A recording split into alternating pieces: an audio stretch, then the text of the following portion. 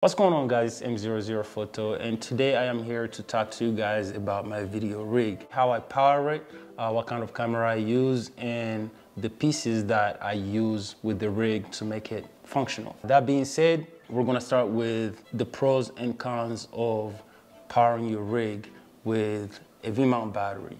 I power all of my set with a V-mount battery. That being said, we all know that the V-mount battery has uh, the little prong on the bottom that uh, hooks up to your V-mount plate.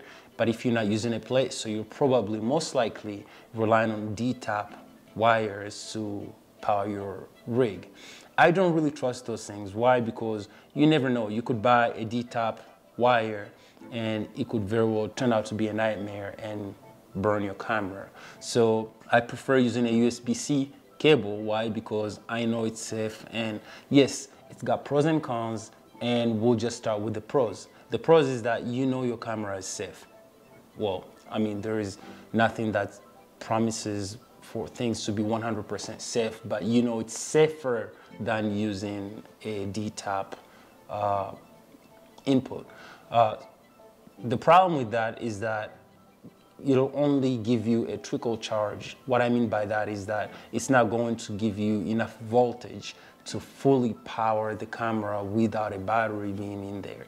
So how that's gonna work. The camera will still drain from the battery, but the battery is not going to drain as fast as if you were only using the battery itself. And since I have a Ninja V mounted on this rig, uh, I have a VND kit, which is a variable uh, ND kit that's electronic. I love using a V-mount and a V-mount plate because then I can power everything all together with one V-mount battery and it lasts me almost all day. So usually I bring two or three V-mount batteries with me and that pretty much, you know, give me a full day shoot. Uh, the Ninja V, we all know that with the Ninja V, the FX3 and A7S3 do offer uh, ProRes RAW.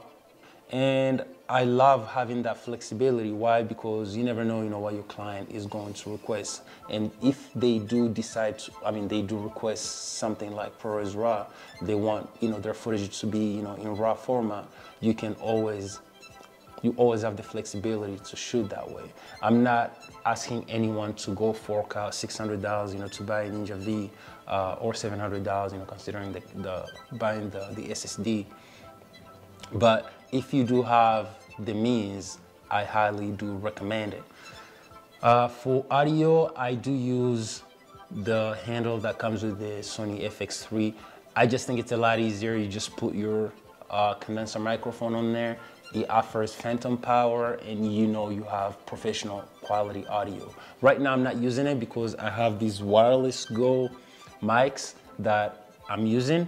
Uh, I think they're really reliable, especially you know with things like YouTube or you know you're doing an interview and you just don't have the flexibility to set up a you know boom mic or uh, a condenser microphone. It, it's flexible, it's portable, it's practical, and it makes your life a lot easier. Uh, for focusing, right now I have a Sony 16 to 35 f2.8 lens mounted. It's a GM lens mounted on this camera and we all know those lenses are super reliable. Sony did, did, an amazing job, you know, with those lenses. However, every now and then sometimes, you know, you need to do manual focus.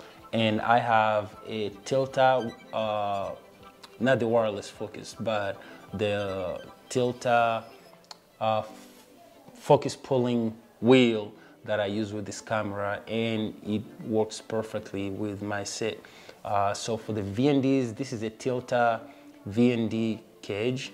And the good thing about it is that it offers me variable ND. So coming from indoor to outdoor, it always gives me, I know it's not as reliable as the Sony FS5, the uh, Sony FX6, FX9 that automatically, you know, adjusts that for you, but it's still better than having to manually, you know, uh, have to adjust that uh, from the front because you know it gives you shake and all that and you know with this I literally just hold it to the side and just you know move either you know front to lessen or you know back uh, to reduce the lighting it's something that I really enjoy having you know in hand because it makes the camera a lot more versatile in many shoot, shooting scenarios. Uh, so as you can see here on the left side, I have this handle. This handle can be powered by a battery. Uh, it's a Sony uh, FZ something battery that you can input here. Correct me if I'm wrong, but yeah, so you can put it in there and you can still extract power from this handle to either power the camera or power uh, anything on that on your rig for that matter. So it's just an extra and also it does play a huge role to give you flexibility. This didn't come with this cage because the cage that i have on the fx3 right now is that half cage that unites in the middle from tilta. But i bought this cage initially well i bought a cage for the sony uh, a7s3 that came with this handle.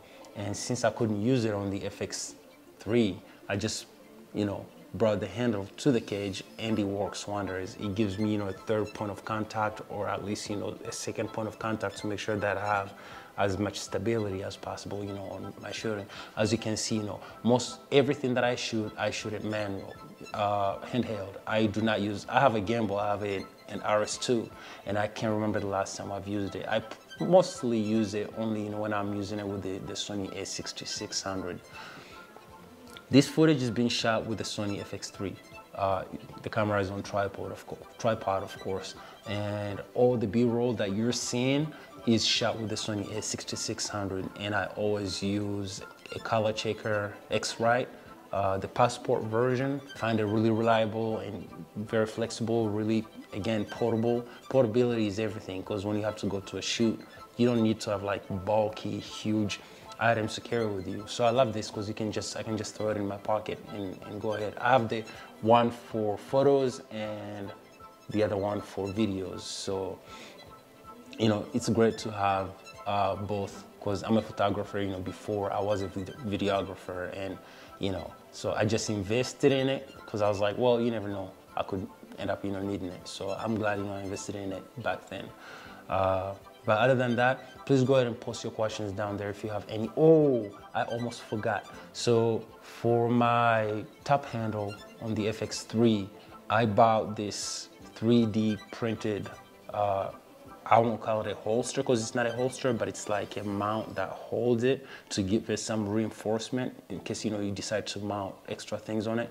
And it's really sturdy. I bought that from eBay for $75 and I'll make sure you know to post the link down there in case any of you guys is interested in purchasing it. But other than that, please go ahead, post your questions down there if you have any of them. Uh, if not, please go ahead and subscribe and hit the bell if you like this uh, review and until next time, again, thank you very much. I appreciate your guys' time and.